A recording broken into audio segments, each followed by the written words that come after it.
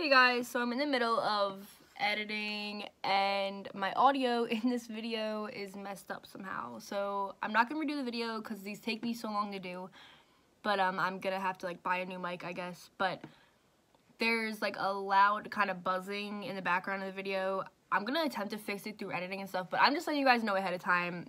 I'm so sorry. I guess just try to bear with me with that throughout the video and try to just not focus on that. But um yeah, so I'm having a lot of technical difficulties today, but I hope you guys enjoy the video um, regardless of that. Hey guys, welcome back to my channel and welcome back to another video for my Zodiac series. So today's video is about Gemini and I'm a Gemini, so yes, I'm a June 5th baby, a June Gemini. Where you guys at? June Geminis? Comment down below. or May. You guys are special too, okay? But in today's video, I'm going to try not to be too biased about the topic because obviously I'm a Gemini, but I'm just going to be talking for all the other Geminis and try not to make it about myself because we tend to do that. if anyone's curious for all of you zodiac freaks like me, if you want to know what my other signs are, I'm a Gemini sun, a Cancer moon, and a Cancer rising. Pray for my personality, guys. I cry about everything. I am very much Cancerish in my opinion. I have a lot of Gemini qualities, but man do I have like every single cancer quality ever. Anyway, so I'm gonna start off by saying usually I am wearing a wig and like my makeup that has to do with the zodiac sign or like reminds me of it. But today I decided to just wear my actual hair, just my brown long hair. It's kind of like a running joke that every Gemini has brown hair. That's not a fact. That is not a part of this video. But like it's just like a running joke and I feel like it's kind of true. So yeah, for today I cho chose to wear just my hair and my makeup is very subtle. So like if you look up Gemini makeup on the internet, you literally just see a wing, orangish eye makeup, like a neutral lip. So that's what I did and guys, this is literally the makeup I wear every time I do my makeup. So it's not lying. For my shirt, I just wear a black like turtleneck kind of shirt because this is what I personally wear a lot and I find that a lot of Geminis we just like to be comfortable and like very simple. We don't like to wear a bunch of like crazy stuff even though the internet kind of puts us out to be like colorful and like bubbly. We're really not, we don't really like color as much as you would think. And for my crystal necklace today, I'm wearing Celestite. It's actually a very good crystal for Geminis and this is actually the necklace I wear constantly and I do hand make these necklaces And this exact necklace along with all my other necklaces will be linked down below so please check that out to show me some support. Okay, and I'm also going to start by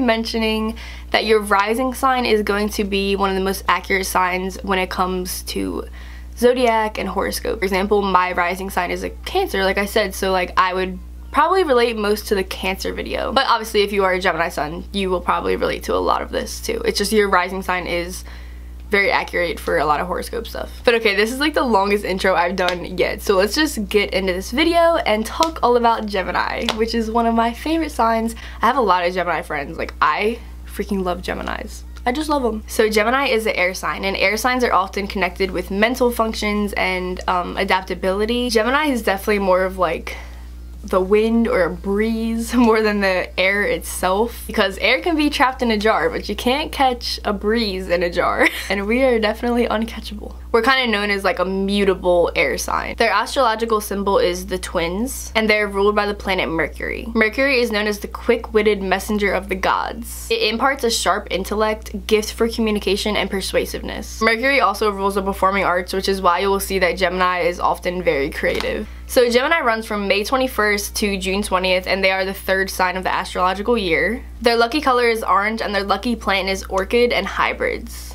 Their lucky gemstones are tourmaline and garnet. And garnet is actually one of our birthstones if you're a June Gemini, so yeah. And the tarot card that is associated with Gemini is the Lovers card. So now I'm just going to name off some famous Geminis that you guys may know. So I have to start with a very famous Gemini currently, Carole Baskin. Unfortunately, she is one of us. Next one is Donald Trump, Emma Chamberlain, James Charles, Marilyn Monroe, Ninja, Kanye West and his daughter North West, Angelina Jolie, G-Eazy, Johnny Depp, Kat Dennings, Tupac, and Natalie Portman. So as you can see, that is a lot of interesting, creative people. okay, so now we're gonna get into our 10 facts. Fact number one is that Geminis tend to overthink absolutely everything because our minds are constantly running they never stop. They're almost always in a deep thought and in their own world in their head almost 24 7 just never stop thinking and never not in a deep thought about anything. And also this is kind of off topic but they're very adaptable. They can almost adapt to like any situation that you put in front of them. Moving changing a job changing a hobby i don't know very adaptable to just about anything. Fact number two is they're very moody and bipolar, very switchy. This is kind of where the double personality thing comes in, the twins. It definitely does not take much to make a Gemini happy and laugh, but it takes even less to make them mad. They could be at a party and be having the most fun ever, but then instantly just want to leave and just be in a bad mood. They definitely have the capability to just be very happy and then like snapping in 20 minutes. The thing with the moodiness thing is that they tend to hide it from their close friends and family. I don't know if they're like ashamed of it or something, but they definitely hide the moodiness for as long as they can and they tend to not snap at people that they're really close to because they just don't want people to see that side of them. Fact number three is that Geminis are very loyal to the end and they're really good friends to have. They will be the first ones to drop what they're doing to help you with anything that you need help with and also just help you to their best capability that they can. And they will be the first people to speak up and defend you in a situation that you need them to. They would definitely stick up for you in a time of need. Geminis get along with pretty much anyone and everyone, but they definitely crave a deep mental connection that they don't find very often they just love like good conversations with people that they really enjoy being around. Fact number four is that you will never fully know a Gemini. They never let anyone fully in. It's just really hard to get to their deepest layers. They're also secretly very manipulative and tend to always get their way no matter what because they're very good at manipulation and like just making you believe anything and they're known liars like they're they tend to be liars but about like little things they'll just like make stuff up kind of to get their way and like manipulate you. Fact number five, even though they're known as the airheads, they notice every single little thing. Even if you think that they don't notice something, they do. They just pay attention to everything and they're really good at that. They spot the little things about a person that others may miss. And along with the paying attention thing, they're also really good listeners. So if you need someone to listen to you, go to a Gemini because they will listen and they will help you through anything. Fact number six is they highly dislike negative and whiny people or boring people. Like if a Gemini doesn't like you, you will know it. They will show it. And if they think that you're boring, they will literally just like walk away. They're just so like straightforward. If they don't like you, you will know it. They really like people that stimulate their mind. They love good conversation. So if you're boring, just no.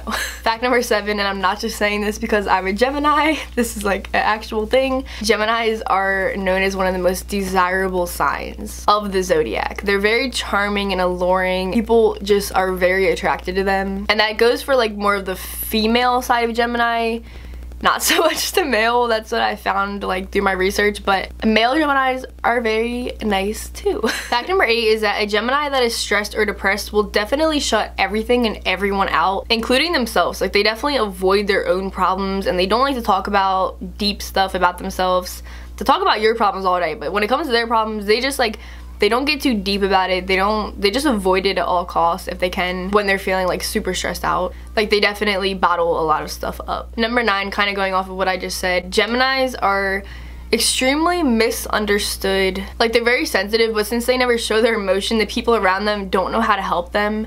And the whole double personality thing comes in a lot because since we do kind of have like so many different moods I think moods is a better way to put it than like double personality. Like I think we just have a lot of moods that we go through like on a daily basis. Since we just go through all these emotions all the time, people do not understand like who we are at that moment, who yeah, so we're just very misunderstood. Fact number 10 is that Geminis always speak their mind and they argue for what they believe in.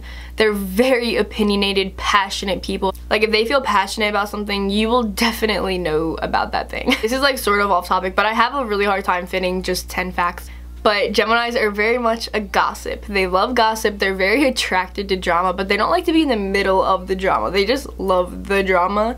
They love talking about it with their friends, but they don't necessarily like being the drama. and like I said, I can never just fit 10, so fact number 11 is that Geminis really present themselves well in public and they give off great energy. They're excellent communicators, extremely talkative, and they just always give off good energy. So if you want a good friend to shower you with compliments all the time and tell you how great you are, just get yourself a Gemini friend. They're very good writers and often excel in anything having to do with creativity. So like, you will notice that a lot of Geminis are just very creative. They could be singers, writers, really anything they just like excel in anything like that. Like they really excel in group activity as well. Okay guys so that was 10 plus one fact about Geminis. So sorry if I was like in any way biased in this video because like, I'm a Gemini but I really do love Geminis I'm not just saying that. We're known as like just like so bad and like the worst sign. I don't know why because I think we're great people and great friends and yeah. I love you guys so much. Thank you so much for watching literally you guys are so gorgeous. Like I hope you know that because you are. Catch me next Monday for the cancer video. I love you guys too. I absolutely love cancers. And yeah I'll catch you guys there. I love you so much. You are beautiful and good. Bye